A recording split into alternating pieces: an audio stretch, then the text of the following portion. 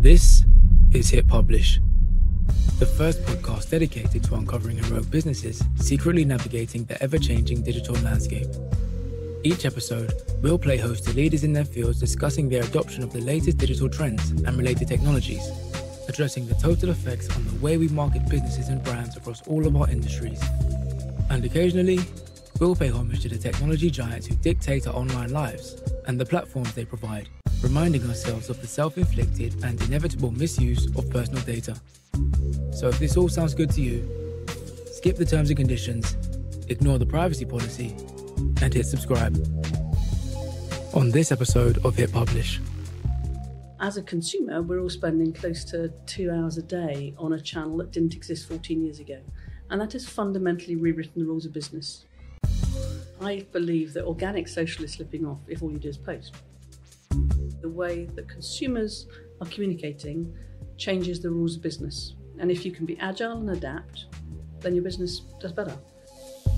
We sat down with Polly Barnfield of Maybe Tech, a social listening tool that helps brands benchmark and improve their social media performance and uniquely compare results against brand competitors. We talked to Polly about how Maybe differs from any other social listening tools out there, including measuring feeling and the rules of engagement. We also talked about the digital index and what good and bad social looks like for large and small brands. Here we are, back for another episode of Hit Publish. Hi, Chris. Greetings. We should say that we're a man down today, aren't we? Um. Sam, part-time layabout, isn't joining us today. He's, he's got better things to do than uh, stand in a hot room and, and talk to us. Um, we're joined by Polly Barnfield from Maybe. Hi, Polly. Hello, how are you? I'm very well, thank you. Thanks for, for joining us today. I'm excited to talk about Maybe. I had a good look at, into it last night and uh, had a browse around. I didn't sign up to it though because I didn't want you to think I was just there to to poke around, which I would have been really, to be honest. I'm Uh, disappointed that runs our metrics. That's another non no, no, no, another non-conversion. That's terrible. yeah, I've just messed up all your analytics now. So um, no, but I, I certainly will do uh, after this conversation once I've found out more and learned more about it, which is the purpose of today's podcast. So yeah, th- thanks again for joining So let's jump straight into it. Um, and let's talk about maybe tech. So, how is the uh, maybe platform different from other listening tools, so the likes of um, Sprout Social, which we use, for example, or more dedicated platforms like Awario? How's it different? Oh, great question. So, um, number one, maybe is a, a social um, engagement platform that's been built 14 years after social media was a thing. So, uh, a lot of platforms have developed from a premise of sch- schedule first and then had other things added to them. Whereas maybe it's very much, maybe, maybe doesn't do scheduling, it integrates with other platforms. Um, at the moment, Buffer, but we're building out APIs that integrate with all other scheduling platforms. Um, it's much more about thinking about the conversation that already exists. You know, we all focus on um, publishing, what posts you're pushing out, but you know, the last two years, more content has been created than ever before. And actually, what matters most is what how are people engaging with that content. So we're very much a listen first and enable engagement um, and understand those metrics. Um, and the key part that really sets us apart from other platforms is that we have an index that enables us to index any industry vertical to say how do you perform compared to your peers. You mentioned Buffer just a moment ago, which I'm interested to hear because we use that religiously, and it obviously has its own low-key sort of analytics tools within it. How what, how are you integrating with them, and what in what way are you using them to talk to the Maybe platform? Uh, so we have a Zapier integration, which means that we can integrate with any any number of platforms. Um, and the first integrations we built with Zapier is about being able to pull data out of our platform, push it into other places. Good. Um, I would implore you to sign up and find out more. I would say that, wouldn't I? Um, but we believe that we, you know, look, social. I think is is misunderstood as a business tool. Um, as a consumer, we're all spending close to two hours a day on a channel that didn't exist 14 years ago. And that has fundamentally rewritten the rules of business. Now, social platforms like Social Sprout and Buffer and Hootsuite are all amazing. They're all fantastic. But we take a very different view of the conversation and how you can engage with it. So one of the metrics for us is how much content are you engaging with from other people? Because it's not just about what you say, it's about how you engage with other people's content and how many people are talking about your brand and what are they saying? Um, and are you responding to it? Because social has gone way beyond just what you publish. I'm interested to understand how maybe measures performance because each sort of listening tool has its own way of measuring what's good and what isn't, and etc. So, how does how does maybe handle or measure, sorry, performance uh, across the social channels, um, and what does maybe consider a well-performing channel? Um, now, again, I would think of. I, I, think we think about this slightly differently, which is that obviously um, a good performing channel is one that's engaging well and creating positive sentiment. But fundamentally, it's actually what is delivering the business result. So, what do you want social to deliver for your business? And so, is it footfall? Is it sales? Are those online or offline sales? And therefore, what are the KPIs that social needs to drive? Because we don't live in a single channel world in work anymore. We live in a in a very joined up experience from a consumer perspective. And so, but maybe it's about providing businesses with a set of tools that makes that conversational journey that a customer is on much clearer, not just to the agency, but to the business as a whole. So, how do you provide the tools to see what a customer, the journey a customer is going as they're deciding to buy your product or engage with your business? And so, for us, it's not as binary as what is good. It's is it fundamentally delivering a business result? Because it's not. That's what bad looks like good sure. looks like, like your biz, business achieving the results and the sentiment and the volume of engagement that the consumer is having with you through your social channels. And how does it? How does um, maybe sort of work that? I um, sort of look at the the impact that each um, you know post can have, or you know that sort of uh, can't remember what you call it in the platform, but that engagement um, and the influence that that each post can have. That's a great question. So we um, take the data um, from a range of APIs, um, both um, native APIs if you've signed in through the platform, but if you want to compare your performance to other businesses, then those are APIs that we are in effect paying for through directly from Twitter, Facebook, Instagram, um, and we pass them through machine learning and AI to give a various various different views. So our fundamental reports are um, how are people engaging with your content or your peers' content, and that's both around your conversation of what you are publishing, but also what's being said about you. Um, we look at what what are the keywords within that conversation. So, what are the themes that are creating that engagement? What is the sentiment around it? And then the key piece that I find that I think is really interesting is we're then breaking that conversation down into how have people responded to your posts? Okay. How are you engaging with other people's posts, and how are people engaging with your brand? and surfacing that in a way that is really easy for anybody within an organisation to respond to because it's not just necessarily about an agency responding, but actually it could be, you know, if you're a retailer, for example, it could be that merchandising need to understand that whatever is the discussion on social is the fact that the sleeves are too short on your shirts or mm-hmm. that your opening hours are wrong. So it's making the conversation social a much broader business tool that can then be assigned to somebody else in the organisation. So the, the Maybe platform is um, it was seat agnostic. We don't mind whether you are uh, have one one team member in the platform or hundred people in the platform. We want everybody in your organisation to understand what your customer is saying on social, and so it's about them being able to sign those posts. Say, hang on, there's a big conversation about I don't know your shopping centre and the loos, you know, up to scratch because that's something that will actually affect your business result. So it's taking social beyond just being a marketing tool and actually being something that's intrinsic to the way you run your business. Is it more aimed towards um, business owners as opposed to agencies, or is it is it for both actually? Oh, we're very happy for you to be a client in. Um, we absolutely.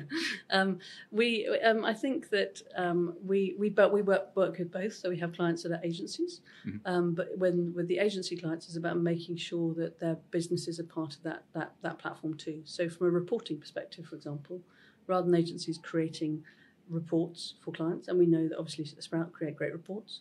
But I, our reports look at a different set of KPIs, mm. um, and also their living KPIs, which is how does the customer feel today, and is that something that really should only be monthly, or isn't it something that the, the, the business owner should see today?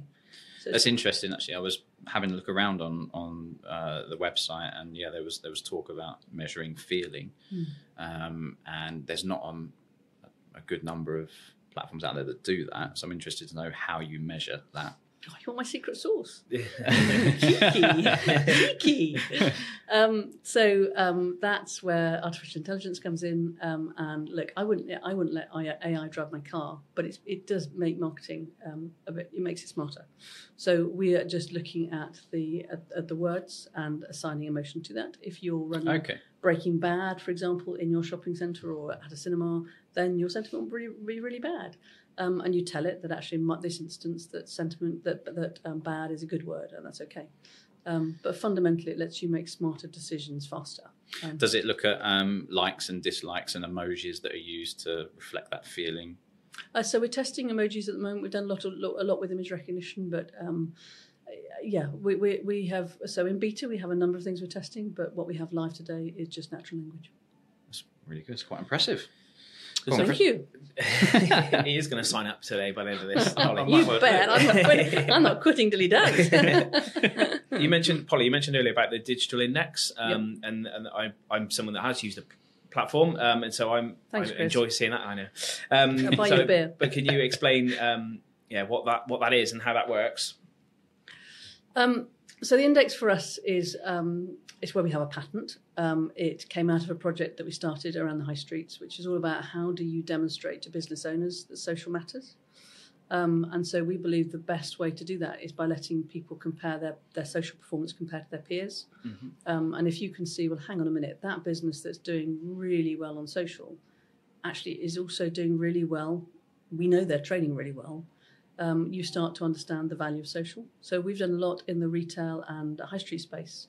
And it's fascinating when you start to look at businesses like Primark, B&M Bargains, Greggs, who don't don't trade online, they trade offline. They're absolutely smashing it on social. They're at the Right. top of the index. Yeah. But if you then go and look at businesses like, um, might get sued. Should we go? Should we be risky? Um, there are businesses, for example, like um, big, big, big household names, River Island, Topshop, Superdry, who, you know, look, they're doing a good job, but they're not by any means ringing the bell um, in the same way, um, and they're not engaging the conversation. Greg, Greggs launched a sausage roll that has changed their balance sheet Yeah. because they understood the conversation on social. Um, and it's that whole piece that actually fundamentally the way that consumers are communicating changes the rules of business. And if you can be agile and adapt, then your business does better. And it doesn't matter whether you're an SME, one, one man, one man band SME, or whether you're a PLC. Ignore the customer at your peril right now, because not only does the customer is voting with their feet, but the customer now is a publisher too. So if you're not listening collectively to what your customers are saying and responding pretty fast, You're missing a trick. score- scores are on the doors. Why, um, why do you think bigger brands aren't as hot as the, the likes of brands that are offline? Do you think there's a specific reason for that? Uh, uh, good question. So we, we did a we did a piece of benchmarking around that. So um, having having looked at the the Primark and B&M piece, we then went on and looked at um, Boohoo, um, Gymshark, and no, what's what was the one we looked at alongside? I think t- both of those brands you just mentioned there are clients of Social Chain. So you would suspect that their their social would be on point. So their social is on point. What's really interesting about it is that it's not only on point in it's what's it, if you take if you take Boohoo and um, Gymshark, they post a lot, so they've got great content, which is what Social Chain are really good at doing. Um, they also engage a lot, so they're very good. They've obviously invested heavily in internal teams to engage, or whether they're it through an agency, don't know. Um, but they're engaging very heavily with external content, and that's creating a subsequently very large conversation about their brands. If you then go and look at, for example, Topshop and Superdry, they're posting significantly less content. Um, and when you take, for example, Topshop, which is a straight competitor of Boohoo, right? If I'm, a, if I'm a teenager, I have to choose between those two. I'm not about, I'm going to buy a dress from one or the other. Yeah. But Boohoo are doing a great job of making sure you're in my face, Right. and they're engaging with me. When I say, and when I when I say I'm worried about your sustainability, Boohoo, Boohoo launched a sustainable fashion brand. Brilliant. But Topshop just isn't the volume. Volume is lower. Uh, their engagement's actually really good, so you can see if if they actually did turn up their volume, then they'd have a chance of competing. But they're not, and they're not engaging. They're not engaging the same way. Okay. Um, I'm interested to understand the actions side of the platform um, and how how you decide what the right action is to take. What is it? What measurements do you use, and when do you decide? Right, well, this isn't working out so great, so do this, assuming that's what an action is. Um, so we have recently renamed that part of the platform activities. Okay. Um, and the premise behind it is that um, as the person or the team within an organisation that's, that's told, you know, this is your thing, you're doing the social, beyond posting, we believe that engagement is the other key metric. So the activities part of the platform is about showing you the content from those organisations that or, or people that are important to you. So going back to that point of what content do you engage with, what the platform does is surfaces over, and, and the, fir- the first view you see is all the data in the last 24 hours. So it shows you the, the data over the last 24 hours that has been most engaged with, that you should engage with. So when you set up the platform um, for a brand or a business, you say, well, what are the conversations I'd like to be involved with? So let's say you're a ladies' fashion brand or a teenager's fashion brand. What are the conversations that my customer is already hanging out in? Do I want to be involved in the Glastonbury conversation, for example? Do I want to be, you know, what are the conversations? What is that content that's already put out there that's been published where my customer will be and where do I want to engage with it organically? And we then surface the conversations that are most are being most engaged with over the last 24 hours. So it makes it really quick and really easy to engage with it across Twitter, Facebook, and Instagram from one dashboard. How does maybe decide who your customer is? Is it based on followers and, and likes, etc., that you already have? Well, that's a good question. Um, so right now, um, we and what's live on the platform right now is you choose. So you Okay. choose you choose who you want to put in. Um, we are testing um, interesting new features that will make robust suggestions to you. Um, And uh, if you were in the platform, you'll get them first. And is that sort of a s similar in the way that uh, Facebook Ads Manager might say, you know, this demographic at this age range and this location and, and so on? Is it deeper than that? So um, there are two sides to this. Um, so we haven't talked about the ads manager piece yet. So we have, uh, let me jump about for a minute. So as well as the organic piece, we have um, um, an ads manager that ranks your ads based upon their their ROAS. So you can start to see what what takes you about five clicks to do on Facebook Ads Manager. You can see in one view on maybe. Um, and we are um, testing um, pieces around custom audience that we're looking at blending with the organic Okay. piece as well. So.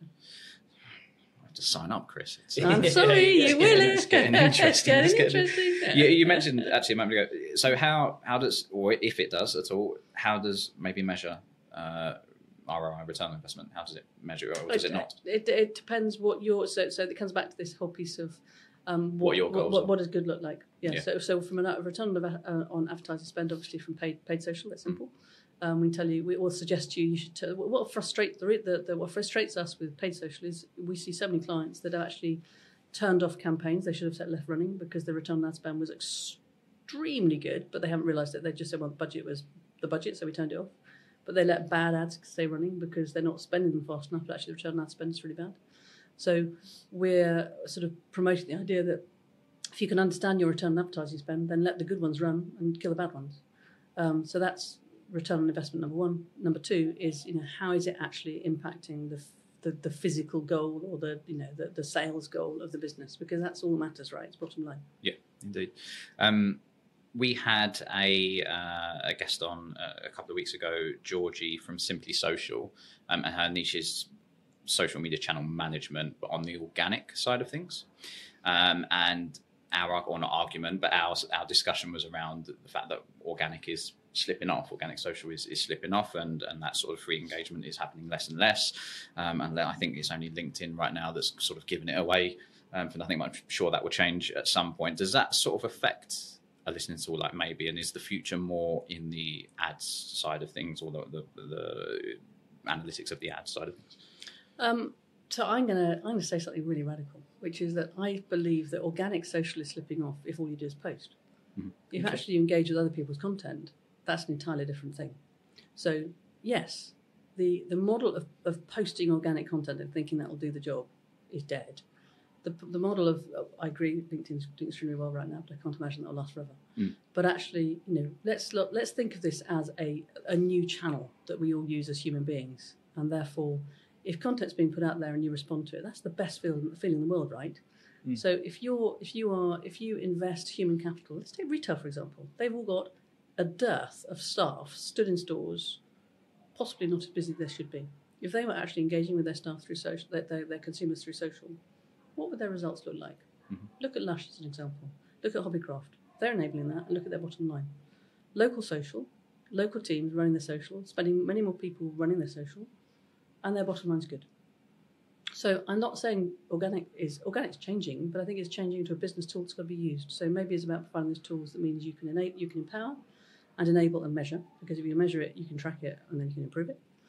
But with paid social, the other thing that ex- that is fascinating is we see many cases where paid social is generating massive engagement mm. that's going unanswered because you don't see those comments. They don't appear organically. So one of the key things that maybe does is enable you to see the comments that are coming on paid content because that's nuts.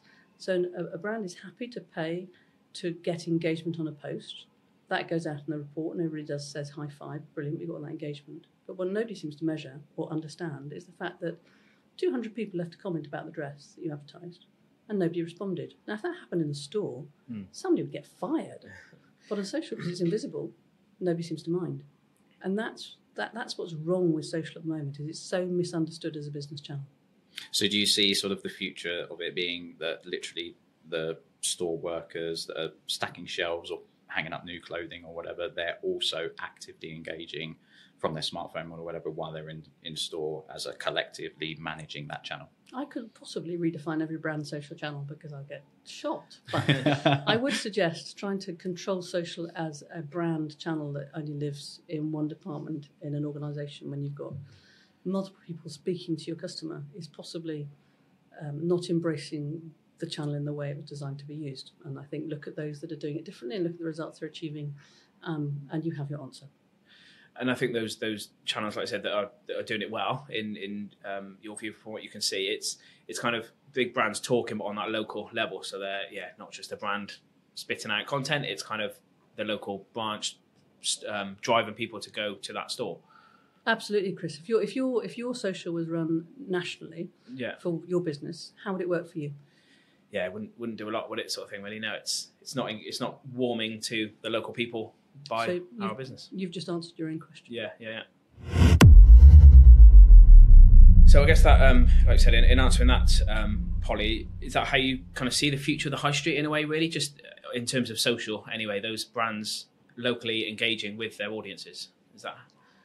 Um, look, I think let, let's be frank. Consumers consumers now have the ball and have run off the pitch with it. They are they are in charge. It is your marketing. You know, it's the, it's the channel of one, um, and those brands that find a way to connect and resonate with with consumers will do better. It doesn't matter whether you're digital or physical. You've got to connect and and have the conversation, the channel the customer is in. Um, so and the writing's on the wall for those those brands that are doing it well are performing better. But the rules will change because social is such a fast moving pace. It didn't Absolutely. exist 14 years ago, um, but it is transforming the way business is done. And on the, leading on from that, um, exactly as you say, it's changing quickly. And one of the later sort of innovations with social is this sort of social commerce, really. So selling directly through Facebook and Instagram, etc. How does how does that can the maybe platform handle that? Is that does that work well? For, I think that's beautiful. Um, it all comes down to service, doesn't it? And that's all about understanding what customers are saying and being able to respond appropriately and efficiently at the right time. Um, look, there are many tools out there. Um, we, we our, our vision and mission is all about enabling every business, regardless of size, to have access to uh, AI-powered tools that enable them to respond efficiently to their customers. We want to be the indispensable business tool that every business needs to serve their customers well. So, yeah, you bet I love it. I, uh, we, we had this discussion briefly in a previous episode and interested to get your thoughts. Where do you think that leaves websites for smaller businesses and startups when we know that Instagram is testing uh, one tap click purchases um, in the in the US right now? Facebook is playing with Facebook Market that will no doubt evolve into something similar. Where do you think that leaves a, a typical e-commerce website for a smaller business? Is it social first and let's start selling through there, and then we'll look at a website later, or is website still a fundamental piece to that part, that puzzle? Uh, let me tell you. Let me give you a little case study. So we've got um, a retailer we work with who sells really high-end boots, uh, shoes. Um, um, she two years ago really wasn't doing an awful lot online at all and wasn't on social. Um, and she started running some tests. Um, she sells high-end product, um, and she didn't believe that people buy it through a website. She has got extraordinarily good at Instagram, and she has, a, has a, created a great website. And she last year spent fourteen thousand pounds worth, uh, fourteen thousand pounds on Instagram ads, and she sold one hundred forty-five thousand pounds worth of boots. Um, she sees um, Instagram as a key part of her business. It's not the only part of her business, but I don't think. I mean, she, she's an example of somebody selling high-end product. She sells trainers for 150 quid a pop, boots for 200, 300 quid a pop more. You wouldn't buy those unless you could check her out on the website. Um, You, you know, I think we're, we're, we're as, as human beings, we're getting more and more cautious And savvy, and to, savvy. yeah. So I think you've you've still got to pass the smell test, right? But you've got to be really good at grabbing me. Um, her she she's done extraordinarily well. Um, through retargeting. She's understood that once I've got your attention, she has beautiful photography. She's used um, um, our platform to understand what people are talking about. Let's reveal new product lines. She didn't understand our customers talked about trainers. She added trainers to product line. She's selling more. She's selling more to the same customers, um, and she's got really good at retargeting because you don't just make that purchase immediate, immediately. You think about it. You know, it's it's something that. What about as a startup? If I've got X amount of budget, do I bother building a website, or do I go straight onto Instagram and start selling my product? I test it. Depends what you're selling. Depends on the price point. Depends on your customer base, and test it. There is nothing nothing beats testing, and listen. We're running out of time. I'm conscious that uh, you you've got to shoot off for a, a, a call to India. To yeah, I'm sure tech. it's all good. Build Yeah. Thanks for joining us. Look, a a shameless plug. In a few short sentences, tell us what Maybe can do, how we get onto it, and how we find it, and that kind of thing. Go. So, number one, um, there's a completely um, free tier of maybe that anybody can sign up up to, regardless of size. After 30 days, um, you are charged based upon the size of your social following, um, and it is remarkably good value. Um, if you want to know how your customers feel, what they're talking about, and how you compare to your nearest competitor, then give it a go. What have you got to lose? Um, I think you'll learn an awful lot. Um, and um, we'd be excited to look after you. One of the key things um, um, we guarantee a 30 round, 30 minute response to um, questions, um, and we're here to help people sell more product, Great stuff. to customers better. The, the links will be in the in the notes, but um, your your website address, Polly. Is maybetech.com. Great stuff. Perfect.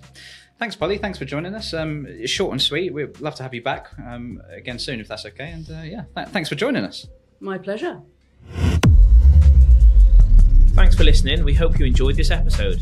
If you did, please remember to subscribe if you haven't already, and most importantly, leave us a comment or review on Apple Podcasts as it really helps us to bring you new episodes regularly. If you've got something to say around digital marketing and would like to feature on a future podcast, please do get in touch in any of the usual ways.